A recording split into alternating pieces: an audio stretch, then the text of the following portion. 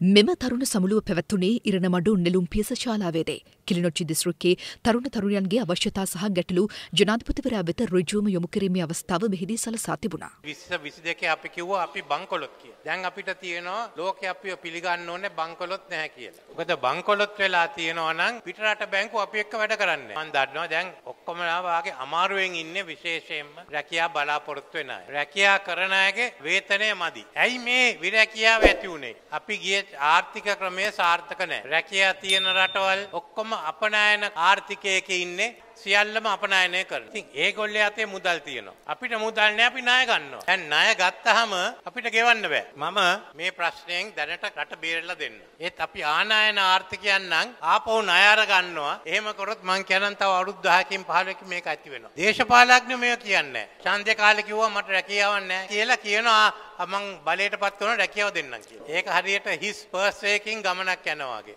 Purse එකේ අරගන්නකොට ගෙවන්න සල්ලි නැහැ. අපි දැන් දැනගන්න ඕනේ කෙලින් මේකට මූණ දීලා අලුතෙන් ආර්ථිකය පරිවර්තනය කළ රැකියාව හොයලා දෙන්න. දැන් මේ ප්‍රදේශයටත් අපි සංචාරකයන් ගෙනල්ලා ලක්ෂ 25 වුණ එක ලක්ෂ 50 කරන්න. දැන් සමහර තරුණය ක්‍රිප්ටෝ කරනවා. ඉතින් ක්‍රිප්ටෝ කරන්නත් සමහර රෙගුලාසි මට කිව්වා වෙනස් කරලා දෙන්න කියලා. තුන තමයි අපි බලන්නේ කෘෂිකර්මය. අපි දැන් බලන්න ඕනේ මේ ඉඩම් වලින් මීට වඩා හොඳ කෘෂිකර්මයක් කරන්න නවීකරණය කරන්න. ගමට ස්මාර්ට් ඇග්‍රිකල්චර් ගේන්න. ඒක අපි එන අවුරුද්දේ ඉඳන් පටන් ගන්නවා. ඊළඟට තියෙනවා අපේ කර්මාන්ත වැඩි කරන්න. ඒකෙන් රැකියාව හොයලා දෙන්න. ඒකට අපි දැන් සැලසුම් අරගෙන යනවා. මේ ක්‍රමයයි මේ පරණ ක්‍රමයේ ගෙනාවේ දේශපාලනයයි දෙකම අපි මාරු කරන්න ඕනේ. ඉතින් ආර්ථිකය පරිවර්තනය කරන්න දැන් අපි නීතියක් පාර්ලිමේන්තුවේ දාලා තියෙනවා. පාර්ලිමේන්තුවට මම කියනවා ජූලි මාසේ සම්මත කරගන්න. උස්සලා ගම්ම කවුද හිතුවේ මේ 2022 වැටුනේ ආර්ථිකය අද මෙහෙම තියයි කියලා. කවුද හිතුවේ මෙච්චර මිනිස්සු වෙයි කියලා ඊයේ පෙරේදා කොළඹට වෙසක් බලන්න. මේවත් හිතුවේ නෑ. යාපනයේ වෙසක් තිබුණා මේ සැරේ. මේක ගොඩගත්තා. මම මේක පරිවර්තනය කළා ඔයගොල්ලෝ දෙන්න ඊට පස්සේ ඉදිරියට ගෙනියන්න.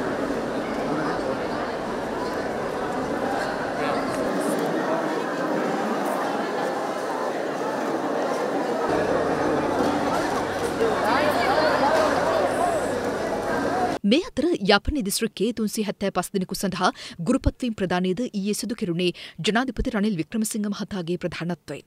උත්සවය යාපනය තන්දයි සෙල්වා ශ්‍රවණාගාරයේදී සංවිධාන කර තිබුණා. ජනාධිපතිවරයා තින් මෙහිදී සංකේතාත්මකව ගුරුපත්වීම් කිහිපයක් ප්‍රදානය කෙරුණා. උතුරු පළත් ආණ්ඩුකාර පීඑස්එම් චාල්ස් මහත්මිය ජනාධිපතිවරයා වෙත සමරු තිලිනයක් පිළිගැන්වුවා. උතුරේ ගුරු සේවයට බැඳෙන්න ඔබට යාපනයේ ගුරු සිරිත තියෙනවා. යාපනයේ ගුරුවරු ලංකාවේ හැමතැනටමත් ලෝකෙටත් උවමනා වුණා. ඒගොල්ලෝ විශාල කැපවීමකින් කරේ. මං කොළඹ ඉගෙන ගත්තත් අපේ පාසලෙත් රාජකීය විද්‍යාලෙත් යාපනයෙන් ආව ගුරුවරු හිටියා. ඒ අයට විශාල කැපවීමක් තිබුණා. ඒ කැපවීම අනුව තමයි මං හිතන්නේ මේ යාපනයේ ඇහුවොත් එහෙම ඉන්න ප්‍රසිද්ධ ගුරුවරු ගැන තාම කතා කරනවා. සමහර යාපනයේ පාසල් විශාල ප්‍රසිද්ධියක් ලබලා තිබුණා ලෝකෙ වටේම. දැන් ඔබ බැඳෙන වෘත්තියේ ඔබ උදාහරණයක් වෙන්න. පාරේ යනවා නම් කෑ ගහනවා නම් සටන් පාට කියනවා නම් පන්තියේ ශිෂ්‍යයන් ඔබ පිළිගන්න. දෙමළෙන් සිංහලෙන් ඉගෙනගෙන මදි ඉංග්‍රීසිත් ඉගෙන ගන්න ඕනේ. ඒට ඉංග්‍රීසි ගුරුවරු සකස් කරන්න තියෙනවා. මේක අවුරුදු දෙකක තුනක වැඩ කටයුතු යන අවුරුදු 10ක 15ක ඒ දැන් ඉඳන් ඒක ආරම්භ කරන්න. මේ වෘත්තියේ ගෞරවය